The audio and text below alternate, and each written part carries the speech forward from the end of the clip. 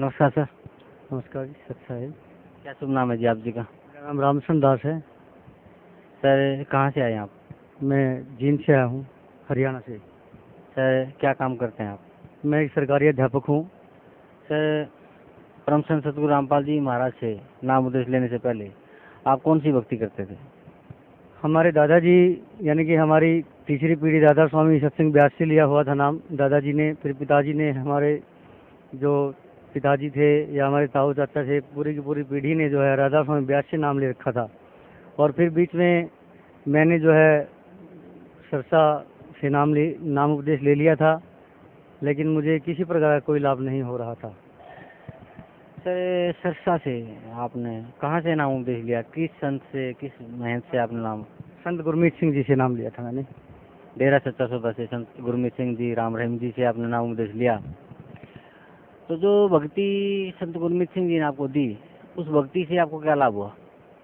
मुझे उस भक्ति से कोई लाभ नहीं हुआ। उन्होंने तीन नाम का जाप बताया और मैंने काफ़ी कोशिश की नाम जाप करने की, बहुत ज़्यादा कोशिश की, लेकिन फिर भी मुझे कहीं कोई रोज़गार में या कोई आर्थिक स्थिति में या किसी प्रकार की कोई आध्यात्मिक लाभ नहीं हो रहा था। मैं बिल्कुल असंतुष्ट था।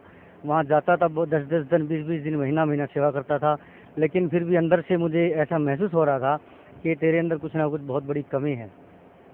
सर क्या भक्ति देते थे? क्या भक्ति दी थी आपको संत गुरमीत सिंह जी ने? क्या नाम जाप करने के लिए दिया था उन्होंने? उन्होंने मुझे अकाल मूर्त सब स्वरूपी राम, सतपुरुष, ये तीन मंत्र उन्होंने दिए थे मुझे। तो सर, जो भक्ति संत गुरमीत सिंह जी, राम रहीम ने आपको दी, अकाल मूर्त, सतपुरुष शब्द स्वरूपी राम, जो भक्ति आपने की और आपने वहाँ सेवा भी की और एक एक महीने तक आप बता रहे हैं वहाँ आपने सेवा की, कोई आपको लाभ नहीं मिला किसी भी फ़ील्ड में। तो फिर सर, आप परम संत सतगुरु रामपाल जी महाराज की शरण में कैसे आए? मैं जो है, मेरे पास लगभग छः सात डिग्रियाँ हो चुकी थी। M A B Ed M A in English B Ed J B T M Ed सारे ही मैंने कोर्सेज किए हुए थे। और फिर मैं, मेरी बहन है बिमला देवी, जीन पटियाला चौक से जीजा जी महावीर जी बिमला दीदी ने नाम ले रखा था। मैं और मेरी मेरी शादी भी हो गई थी। मैं और मेरी मिसिज दोनों जो है बहन के पास गए क्योंकि पहले मैं उसी के पास पढ़ता था, वहीं रहता था। और फिर मैं वहाँ बहन के पास गया तो बहन से मैंने बात की कि बहन जी, मेरे को किसी प्रकार कोई लाभ नहीं हो रहा रोज़गार में। जैसे पहले मैं किसी भी प्राइवेट अच्छे संस्था में लग सा, लग जाता था, लेकिन फिर कुछ दिन बाद क्या होता था, उसी संस्था में मेरा जो है, काम अच्छा नहीं रहता था, यानी कि मैं दो चार छः महीने के बाद हट जाता था स्कूल से, पता नहीं क्या होता था। इस तरह से इतनी डिग्रियाँ होने के बाद भी मुझे जो है जगह नहीं मिल पा रही थी और मैं बड़ा दुखी था। बहन जी से मैंने बोला कि बहन जी, मुझे कहीं कोई रास्ता नहीं दिखाई दे रहा, मैंने नाम भी ले रखा है और घर वाले जो जिस प्रकार की पूजा पाठ करते हैं, उसमें भी मुझे कोई लाभ नहीं दे रहा मेरे ख्याल में परमात्मा यहाँ पे इस संसार में बिल्कुल नहीं है। मेरा बिल्कुल मन उब चुका था और मैंने ये भी कह दिया था कि बहन जी, मुझे तो ऐसा मन करने लगा जैसे कि मैं सुसाइड ही कर लूँ, इससे अच्छा इस लाइफ का कोई फ़ायदा नहीं है। तो मेरी बहन ने मुझे कहा कि रामचरण, भैया, तुम ऐसा करो, मैंने एक गुरु बनाया है सतगुरु रामपाल जी महाराज। करोथा में नाम देते हैं, तुम एक बार वहाँ जाके देख लो। लेकिन बहन जी ने बताया कि वहाँ आपको सभी देवी देवता, यानी कि मैंने नाम भी ले रखा था और फिर देवी देवताओं की पूजा करते थे, पितरों की पूजा करते थे, भूतों की पूजा करते थे। और बहन जी ने कहा कि तुम एक बार चल के देखो। मैंने कहा घर वालों से पूछूँगा। मैं और मेरी मिसी थी, उससे मैं बच्चे वगैरह नहीं हो रखे थे। अब तो परमात्मा ने मौज दे रखी सतगुरु रामपाल जी ने। तो उन्होंने कहा कि आप जाके देखो। मैंने कहा कि घर वालों से बात करूँगा। लेकिन बहन जी बोली कि घर वाले तो मना करेंगे। मैंने कहा, कोई बात नहीं, मना करेंगे। लेकिन फिर भी मैंने सोचा, मैं नाम तो नहीं लूँगा, लेकिन एक बार करोथा में जाके देखूँगा। जब मैं करोथा में वहाँ पहुँचा, क्योंकि मैं अपने आप को बहुत ज़्यादा पढ़ा लिखा, बहुत ज़्यादा एजुकेटेड पर्सन मानता था। और मैंने वहाँ पे जाके जब गुरुजी ने प्रोजेक्टर पर जो है सारे प्रमाण दिखाए, मेरी आँखें जो है बिल्कुल मैं हैरान हो गया। ये देख के कि आज तक किसी भी संत ने, इतने संतों के पास गया, मैं राधा स्वामी के पास निरंकारी के पास भी गया, दिल्ली के अंदर। और भी मेरे जितने रिश्तेदार हैं, लगभग सभी सत्संग नाम से जुड़े हुए हैं। लेकिन मैंने देखा कि ये जो गुरु हैं, ये कुछ अलग किस्म के हैं, अलग तरह के हैं। और उन्होंने जब प्रमाण दिखाए तो मैं अपने आप को जब एजुकेटेड मानता हूँ तो मुझे प्रमाणों को भी मानना चाहिए। तो मैंने देखा कि ये सब कुछ प्रमाण दिखा रहे हैं, सब कुछ प्रमाणित हैं। तो मैंने उसी दिन जो समर्पण कर दिया, हे परम पिता परमेश्वर, बंदीश्वर सतगुरु रामपाल जी महाराज, हे कबीर परमेश्वर, जब तुम ही चारों वेदों में हो सब कुछ, सभी जगह तुम ही हो। तो आपसे ऊपर कोई नहीं है। मैंने वहीं दंडवत प्रणाम कर लिया और परमात्मा की शरण में उसी दिन से आ गया। और उसी दिन से मैंने शुरू कर दिया। यानी कि जब भी परमात्मा के दर्शन होते ही लाइन में लगते तो सिर्फ़ एक ही प्रार्थना थी, गुरु जी कोई रोज़गार देना, गुरु जी कोई रोज़गार देना। उधर माइयों में मेरी मिसी जाती, इधर जो मैं आता, गुरु जी रोज़गार देना, गुरु जी रोज़गार देना। गुरु जी बोलते, बेटा, कोई बात नहीं, परमात्मा दो रोटी का रोज़गार आपको देंगे। ऐसे चलते चलते तीन चार साल बीत गए। फिर मैंने गुरु जी से बार बार मेरी यही प्रार्थना करता रहता था लेकिन गुरु जी ने एक दिन मेरे को एक दोहा बोला और गुरु जी ने कहा कि राम नाम रटते रहो जब तक घट में प्राण और कभी तो दीन दयाल की भनक पड़ेगी कान। इस परमात्मा की वाणी ने मेरे हृदय में एकदम ठंडक पैदा कर दी। मैंने सोचा कि परमात्मा मेरी एक दिन ज़रूर सुनेंगे। और लगभग फिर क्या हुआ? एक हफ़्ता हम कबीर जयंती पर बड़ौदा के अंदर 2005 में रहे। यानी इनके एक हफ़्ता के अंदर मैं जब घर पे गया तो मुझे एक बहुत करोड़ापति, अरबापति जींद की लेडीज़ जिसकी संस्था थी खुद की, वहाँ मेरे डॉक्यूमेंट पड़े हुए थे। वो लेडीज़ जो है ढूंढती हुई मुझे घर घूम रही है। और मेरा नाम पता घर वालों से पूछ रही है, जब जींद में रह रहे हैं, भिवानी रोड पे तो वहाँ पे आके वो पूछती है कि ये लड़का मैंने मैंने एज ए प्रिंसिपल मेरे स्कूल में रखना है, क्योंकि मेरे को ऐस इस जैसा काबिल लड़का कोई दिखाई नहीं दिया। तो भैया ने मुझे बताया कि एक बहुत गाड़ी में एक लेडीज़ आती है, बहुत मोटी है और काफ़ी धनी लेडीज़ है रिच लेडीज़ है, जिनकी मानी हुई लेडीज़ है। आदर्श सीनियर स्कूल उसका है जिन में, अब तो बंद हो चुका है। और उसने, वो मुझे ढूंढ रही है, और उसने कहा कि ये फ़ोन नंबर दे के गया, आप जाना। मैं उसके पास गया, यानी उसके लड़का नहीं था। मैं उसके गया, मैंने हाथ जोड़ के उसको नमस्कार की, मैंने नमस्ते। वो बोली, आप रामशरण है? मैंने कहा हाँ मैं रामशरण हूँ। और बंदी छोड़ सतगुरु रामपाल की दया ऐसी हुई कि उन्होंने मुझे अपॉइंटमेंट लेटर कह, दे दिया, कह दिया कि, बेटा, ऐसा करना। यानी मेरी नौ सौ रुपये सैलरी थी उस टाइम 2005 में। और उसने कहा कि तेरी सैलरी आज से लगभग साढ़े पाँच छः हज़ार रुपये होगी और तू एज ए प्रिंसिपल मेरे स्कूल को संभाल। और मेरे कोई बेटा नहीं है बेटे, तूने पूरा स्कूल संभालना है। यानी कि मुझे सिंहासन जैसी परमात्मा ने कुर्सी दी। मैं रामपाल जी का बहुत ज़्यादा इसकी मैं महिला का गुणगान नहीं कर सकता। मैंने परमात्मा का फ़ोटो अपने पीछे लगाया। तीन तीन मुझे पीन दिए। एक बैल बजाता तीन पीन आते। और मैं सोच रहा हूँ, ये कहाँ से क्या हो गया? मुझे बड़ी हैरानी हुई। हे परमात्मा, परम पिता परमेश्वर, श्री रामपाल जी महाराज। मैंने बहुत पूजा पाठ की, शिव जी की पूजा की, सभी देवताओं की पूजा की, लेकिन मेरा ऐसा कभी ज़िंदगी में चमत्कार नहीं हुआ। और फिर आहिस्ता आहिस्ता मुझे वहाँ से फिर दूसरे स्कूल में और भी ज़्यादा सैलरी के साथ कोई और जो है स्कूल का मालिक मुझे ले गया। और मेरी सैलरी उन्नीस हज़ार रुपये पहुँच गई। और मैं बिल्कुल हैरान हूँ। मेरे शीशे के टेबल, बड़ी टेबल थी उसके ऊपर परमात्मा सतगुरु रामपाल जी का फ़ोटो देख के लोग कहते थे, ये कौन है? मैं कहता, ये मेरे परम पिता हैं, ये मेरे गुरु जी हैं। और भी पूछते, टीचर पूछते कि आप सतगुरु रामपाल जी के शिष्य हो? मैंने कहा हाँ मैं सतगुरु रामपाल जी का शिष्य हूँ। मेरे पीछे इस कुर्सी के पीछे मैं अपने सतगुरु की फ़ोटो लगाता था। कबीर साहब की फ़ोटो साथ में उनकी लगाता था। और कोई भी मेरे ऑफ़िस में आता तो पूछते थे, ये कौन है? मैं कहता, ये मेरे गुरु जी हैं। और मैं उनको परमात्मा की महिमा सुनाने लग जाता था। सभी टीचर्स को, सभी बच्चों को मीटिंग लेता तभी परमात्मा की, यानी कि परमात्मा ने मेरे अंदर इतनी कोमलता भर दी, इतनी जो है, विकारों को दूर कर दिया। मैं किसी से किसी प्रकार की भी कोई बेईमानी, कोई ठगी, किसी प्रकार की कोई नहीं की मैंने कभी भी। नाम लेने से पहले भी नहीं की और नाम लेने के बाद तो बिल्कुल परमात्मा ने मुझे इतने नहीं बताए कि गुरु ने कहा कि बेटा तू भूखा रहना एक, भूखा रहना एक टाइम लेकिन कभी किसी के साथ बेईमानी या किसी प्रकार की ठगी मत करना। मैंने कहा, ठीक है गुरु जी फिर कुछ दिनों के बाद क्या हुआ? जुलाना के अंदर हिंदू स्कूल में एज ए प्रिंसिपल के रूप में मैं कार्य कर रहा था। और वो बहुत अच्छी संस्था है, वहाँ मुझे बहुत अच्छी सैलरी मिल रही थी। और इसके साथ साथ मुझे कॉलेज में भी ऑफ़र आने लगे, क्योंकि मेरा सात आठ साल का एज ए प्रिंसिपल का एक्सपीरियंस हो गया था। और जगह से मुझे ऑफ़र आने लगे। दूसरे दूसरे स्कूलों से कि आपको बीस हज़ार देंगे, आपको बाईस हज़ार देंगे। इसी बीच में परमात्मा ने क्या करा, मेरे, मेरा जो गवर्नमेंट जॉब के अंदर जो है नंबर गिर, पड़ गया। और मैं, परमात्मा और भी बड़ा शुक्रगुजार हुआ।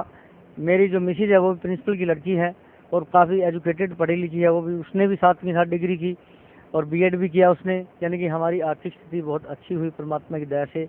और सतगुरु रामपाल जी महाराज ने हमारे ऊपर बहुत दया की बहुत दया की। सर भगत समाज को क्या संदेश देना चाहते हैं आप? मैं भक्त समाज को यानी कि भगत समाज के साथ साथ सभी एजुकेटेड और पढ़े लिखे लोगों को मैं एक ही संदेश देना चाहता हूँ मेरी तरफ़ से। और मैं जो वाइस प्रेसिडेंट ऑफ़ इंडिया से सम्मानित हूँ, जितने भी आज तक सीएम बने हैं तीनों तीनों सीएम से मैं सम्मानित हूँ। लगभग छः डिस्ट्रिक्ट डिप्टी कमिश्नर सम्मानित हूँ। मैंने अपने जीवन में बहुत बहुत कुछ किया। और सभी को मैं एक ही संदेश देना चाहूँगा परमात्मा सतगुरु रामपाल जी की तरफ़ से कि अगर आप वास्तविकता में पढ़े लिखे हैं, वास्तविकता में एजुकेटेड हैं you can adopt the method of Satguru Rampal ji Maharaj because it is all depends and all basis of our spiritual जितने भी हमारे ग्रंथ हैं, जितने भी हमारे वेद हैं, जितने हमारे शास्त्र हैं, उनके ऊपर आधारित हैं। कुछ लोग मुझसे बोलते हैं कि, सर, आप पता नहीं क्या बात है, सदगुरु रामपाल जी तो किताबों में दिखाते हैं। तो मैंने सोचा, हम आज तक जितने भी हमने डिग्रियाँ ली हैं, जितने भी हमने पढ़ाई की है सब कुछ जो किताबों से ही तो किए हैं। फ़र्स्ट क्लास में एल में नर्सरी में जो बच्चा जाता है स्टार्टिंग में उसके हाथ में बुक दी जाती है। लोग बोलते हैं कि आप ये गुरु तो किताबों में ही दिखाते हैं। अरे कमाल की बात है, इन लोगों को ये समझ नहीं आ रहा। न्यूटन की थ्योरी आज हम पढ़ रहे हैं। न्यूटन की थ्योरी से ग्रेविटेशन फोर्स से हम यानी कि सारी चीज़ों की खोज की है। एडिशन ने बल्ब का आविष्कार किया, उसकी थ्योरी को पढ़ के हमने आज ये ट्यूब लाइटें बनाई हैं। यानी कि शुरू में जो बल्ब बना, वो बहुत ही लो किस्म का था। और आहिस्ता आहिस्ता उसकी थ्योरी अगर ना होती, अगर हम बोलते कि एडिशन की थ्योरी फेल है, ये बुक में लिखी गई है, इसको एक तरफ़ फेंक दो। ऐसा नहीं है। तो हमने उस चीज़ को मानना पड़ेगा, उस चीज़ को स्वीकार करना पड़ेगा कि जो लिखा है शास्त्रों में, जो लिखा वेदों में, फिर कुछ लोग बोलते हैं, ये वेद शास्त्र कहाँ से आए? ये वेद शास्त्र भी तो मनुष्य ने लिखा है। मनुष्य ने तो लिखे हैं वो मानते हैं, लेकिन परमात्मा की वाणी जो है, परमात्मा की वाणी फिट कर देता है परमात्मा अपने भक्त के अंदर। जैसे वाल्मीकि जी ने रामायण लिख दी थी बहुत सालों पहले और जो है, इसी तरह जो हमारे वेद शास्त्र परमात्मा कबीर साहब बोलते हैं कि वेद हमारा भेद है, हम वेदन में नाही, और जौन वेद से हम मिले वेद जानते नहीं फिर परमात्मा कबीर परमेश्वर बोलते हैं कि वेद कतेब झूठे नहीं भाई, झूठे हैं जो समझ नहीं। यानी जिन लोगों को समझ नहीं आता, जिन लोगों को ये पता नहीं है कि वेद हमारे क्या कभी पढ़े नहीं, बोल, बोलते हैं कि हमें वेद पढ़ने का समय नहीं है। अरे, वेद पढ़ने का समय नहीं है आपके पास सदगुरु रामपाल जी बिल्कुल डायरेक्ट आपको प्रमाण दिखा रहे किताबों के अंदर if you are really educated अगर आप वास्तविकता में पढ़े लिखे हैं, मैं अपने अध्यापक समाज से, शिक्षक वर्ग से और स्टूडेंट्स से एमए तक मैंने टीच किया है, आज भी कर रहा हूँ, मैं सभी अपने शिक्षक वर्ग से ये जो प्रार्थना करता हूँ, ये हाथ जोड़ के विनती करता हूँ कि एक बार आप अपने प्रूफ को जैसे हम, कोई भी सवाल निकालते हैं, मैथ का निकालते हैं, या तो उसमें क्या करते हैं, एक फार्मूला होता है, उस फार्मूले को देखते हैं भाई, इस फार्मूले पर आधारित ये सवाल है। अगर वो फार्मूला नहीं लगता है तो वो क्वेश्चन जो वो सम जो है, हल ही नहीं हो सकता। तो इसलिए फिर भी सतगुरु रामपाल जी जो आपको प्रमाण बता रहे हैं, अरे कमाल की बात कर रहे हो। डिक्शनरी देखिए आप। डिक्शनरी में शब्दों के मीनिंग देखिए आप। और फिर भी बोल रहे हैं कि सतगुरु रामपाल जी, यानी बोलते कोई निंदा करता है, करते हैं, कोई कुछ कहता है, कोई कुछ कहता है। मुझे ये समझ नहीं आ रहा कि हम लोग इतने पढ़े लिखे हो गए, इतने एजुकेटेड होकर भी इन चीज़ों को स्वीकार क्यों नहीं कर रहे वो परमात्मा की मर्ज़ी है, जिसकी बुद्धि खोलते हैं जैसे मेरे जैसे दास की बुद्धि परमात्मा ने खोली तो मुझे समझ आया। यानी कि फिर परमात्मा ने कहा है कि हाँ फिर बोलते हैं ये सच्चे गुरु की पहचान क्या है? सच्चे गुरु की पहचान परमात्मा कबीर साहब ने बताया है कि सतगुरु के लक्षण कहूँ मधुरे वैन विनोद, चार वेद शास्त्र कह अठारह बोध। यानी कि जो अठारह पुराणों का, चारों वेदों का शास्त्र का ज्ञान, प्रमाणित आधारित ज्ञान देता है वो ही सच्चा गुरु है। वास्तविकता तो यही है कि चारों वेदों में जो भी ज्ञान परमात्मा ने दिया है, उसी के अकॉर्डिंग सतगुरु रामपाल जी ज्ञान दे रहे हैं और उसी पर आधारित हमें ज्ञान बता रहे हैं। फिर मैं बार बार यही कहूँगा भक्त समाज से कि हम अगर वास्तविकता में पढ़े लिखे हैं और अपने आप को ज्ञानी मानते हैं, केवल ज्ञानी ही मान लेना मतलब पूर्णता नहीं होती। केवल हमने ज्ञानी मान लिया अपने आप को। अगर हम जिस दिन अपने आप को पूर्ण ज्ञानी मान लेंगे तो इसका मतलब क्या है? हम ज्ञानी नहीं रहे। यानी कि हमने इच्छुक बनना है। वही सिखाती है हमारी, हमने जो, यानी कि जो टीचिंग लाइन है, वही भी सिखाती है कि हर आदमी पूरी ज़िंदगी जो है स्टूडेंट रहता है, पूरी ज़िंदगी सीखता रहता है। यानी हमें जिज्ञासु बन के रहना चाहिए। जब हम जिज्ञासु बनेंगे, तभी सीख पाएँगे। अब कोई किताब को खोल के देखे नहींगा कोई सतगुरु रामपाल जी के ज्ञान को देखे नहींगा तो उसको समझ जाएगा सीधी सी पॉइंट यही है। इसीलिए हमें जो है, इनकी जो किताबें हैं, इनका जो लिटरेचर है उनको अच्छी तरह से ध्यान से पढ़ना चाहिए, देखना चाहिए, यानी निष्पक्ष भाव से उसको देखें कि ये सतगुरु रामपाल जी इतना संघर्ष क्यों कर रहे हैं? यानी कि सतगुरु रामपाल जी जेल तक चले गए और इस सच्चाई को सामने लाने के लिए। लेकिन फिर भी कुछ लोगों को समझ नहीं आ रहा। अब तो स्वीकार करने लगे, अध्यापक वर्ग से मेरी बातचीत होती रहती है। वो बोलते हैं कि वास्तव में जो है अथेंटिक जो है प्रूफ दे रहे हैं और उस चीज़ को स्वीकार करने लगे। और भी कुछ लोग जो स्वीकार नहीं करे वो भी धीरे धीरे परमात्मा की दया से मालिक उनको सदबुद्धि देगा और वो जो है इस ज्ञान को स्वीकार अवश्य करेंगे। सर, बहुत ही अच्छी बात बताई आपने कि यदि हम समझदार हैं, हम पढ़े लिखे हैं तो हमें सबूत को मानना ही चाहिए।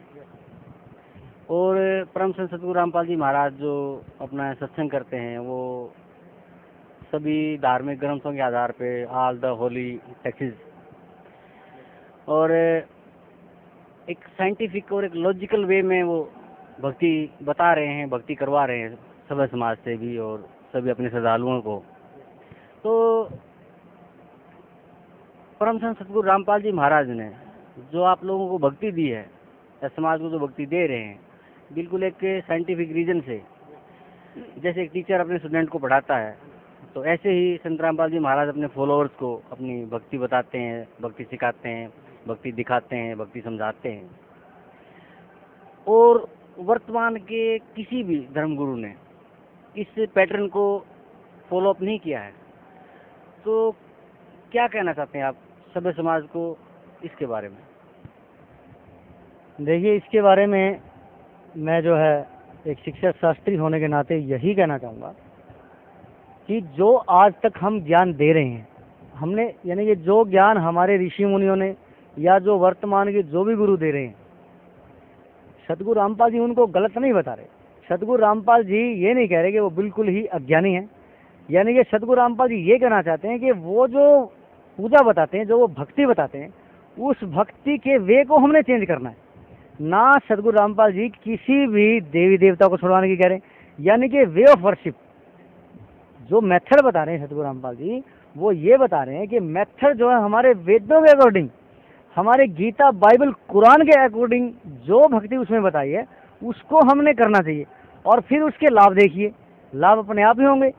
जब हम, हमारे वेदों के अकॉर्डिंग हमारे जो इतने सालों पुराने, हज़ारों सालों पुराने जो वेद हैं, शास्त्र हैं, गीता, कुरान, बाइबल है, उसके अकॉर्डिंग हम जब भक्ति करेंगे तो ये तो रियलिटी दिख रही है कि हमें जो फ़ायदा होगा। से परम संत सतगुरु रामपाल जी महाराज के जो सत्संग होते हैं, हमने भी सुना है और आप लोग भी सुन ही रहे हैं।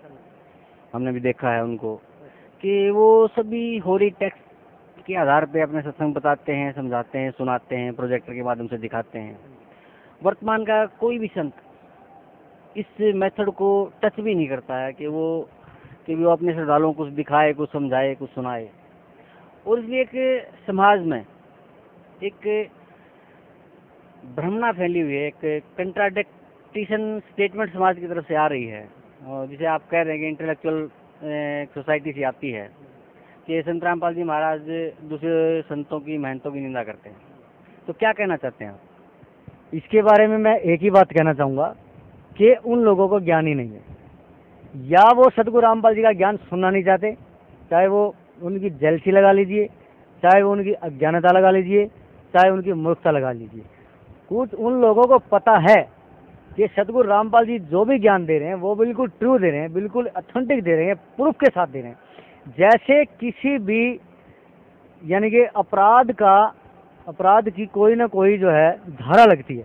और उस धारा का पता हमें संविधान में लगता है कि इस अपराध हम अगर किसी आदमी को कोई मारता है, या कोई एक्सीडेंट करता है, या किसी की कोई हत्या करता है तो उसका अपराध जो है हमारे संविधान में लिखित है। और उस संविधान में जो लिखित है, उस, वही धारा उस पर लगती है। तो ये चीज़ पता नहीं क्यों ये संत लोग जो है, स्वीकार नहीं करना चाह रहे और क्या कारण है? लेकिन एक बार मैं बता देता हूँ। सभी भक्त समाज को, सभी शिक्षक समाज को, सभी पढ़े लिखे लोगों को एक बात बता देता हूँ कि आज वो ज़माना नहीं रहा है कि हम किसी प्रकार के चोटे रखे या किसी प्रकार की बड़ी बड़ी जटाएँ रखे या लाल कपड़े पहन के या तिलक लगा के हम किसी को बहका सकते हैं। ऐसा अब बिल्कुल नहीं होगा। अब इंटरनेट का ज़माना है, कंप्यूटर का ज़माना है, इक्कीसवीं सदी से भी बहुत आगे निकल चुके चाँद तक पहुँच चुके हैं हम लोग। यानी कि हमें अब कोई बहका नहीं सकता, ये रियलिटी है।